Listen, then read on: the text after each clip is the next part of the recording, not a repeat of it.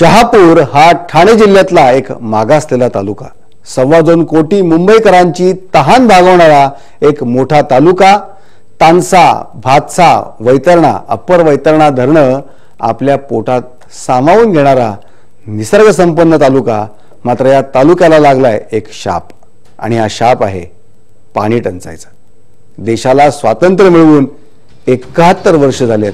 मात्र कोट्यवधी जनतेची तहान भागवणारा हा तालुका आणि इथले पाडे अद्यापही तहानलेले आहेत.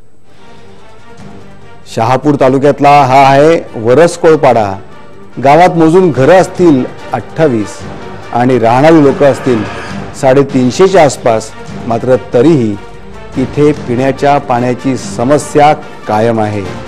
नाही म्हणाला गावात पिण्याची टाकी आहे तरीही या टाकीची अवस्था काय आहे? ते तुम्हीच बघा. बड्या घरचा पोकळ वासा ही म्हण आपण ऐकलेली आहे. मात्र या म्हणीचा पुरेपूर अनुभव वरसकोळ गावामध्ये येतो. या गावात जसं आपण येतो तसं एक मोठी पाण्याची टाकी लावलेली आहे. दाखवण्यासाठी चार नळ देखील आहेत. मात्र या नळांची अवस्था काय आहे ते मी तुम्हाला दाखवतोय.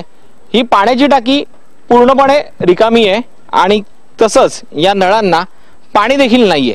आणि म्हणूनच इथल्या गावातल्या लोकांना विहिरीमध्ये जे साठणार पाणी आहे त्या पाण्यावर त्यांना जगावं लागतंय. आणि म्हणूनच आता आपण जाणार आहोत या गावच्या विहिरीवरती आणि बघणार आहोत का तिथे आत्ता किती गर्दी आहे. टाकीत पाणी नसल्यामुळे इथल्या पूर्ण गावाला गावातल्या एकाच विहिरीवर अवलंबून राहावं लागतंय. मात्र या विहिरीचा एक घसा आता कोरडा पडलाय. विहिरीच्या झऱ्यातून झिरपणारं पाणी भरण्यासाठी विहिरीवर अक्षरशः रांगा लागलेल्या असतात. मात्र विहिरीत पाणीच नसल्यानं इथल्या ग्रामस्थांना कशा पद्धतीने पाणी भरावं लागतं हे पाहिल्यावर तुमच्या अंगावर शहारे येते.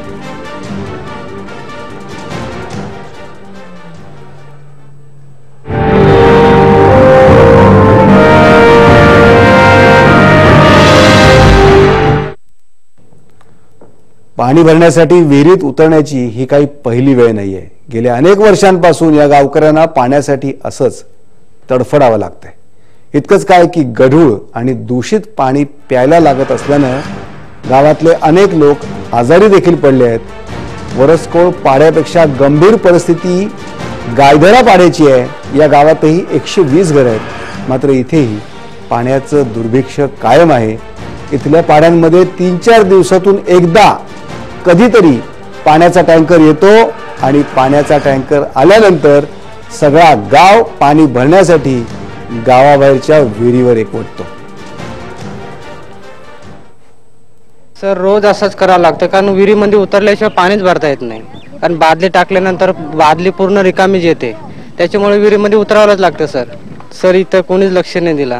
फक्त असं काय असलं तर त्या टायमाला येतात इथं गावांचे इलेक्शनच्या वेळेस येतात आपले लोकांना आश्वासन देतात तुम्हाला पाणी देव हे देव ते देव असा काही होत नाही आमच्या गावामध्ये.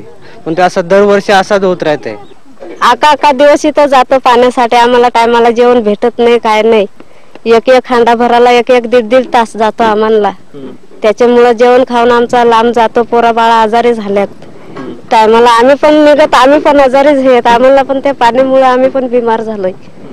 ते खराब पाणी येतं त्याच्यामुळं.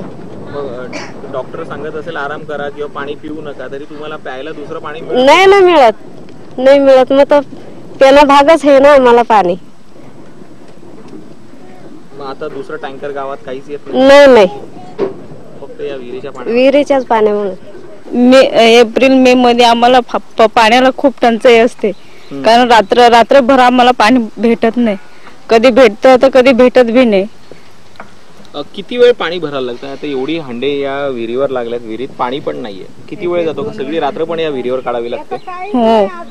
रात्रभर बी चालू असतं आणि दिवसभर बी महिला चालू असतात.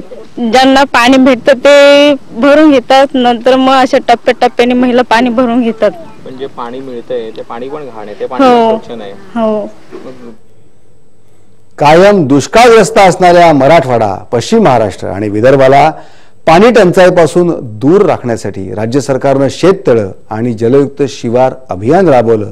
मात्र दुर्दैवानं अद्यापही या आदिवासींची तहान राज्य सरकारला दिसू नये यासारखं दुर्दैव नाही. इथली गरीब जनता चोवीस तास वीज नको सरकारच्या भारंभार योजनाही नको ती एवढंच सांगते इथल्या लोकांना हवंय. फक्त दोन वेळ पिण्याचं पाणी. बातमी आणि बरंच काही मध्ये. आज इथेच थांबतोय. तुम्ही पाहत राहा. जय महाराष्ट्र.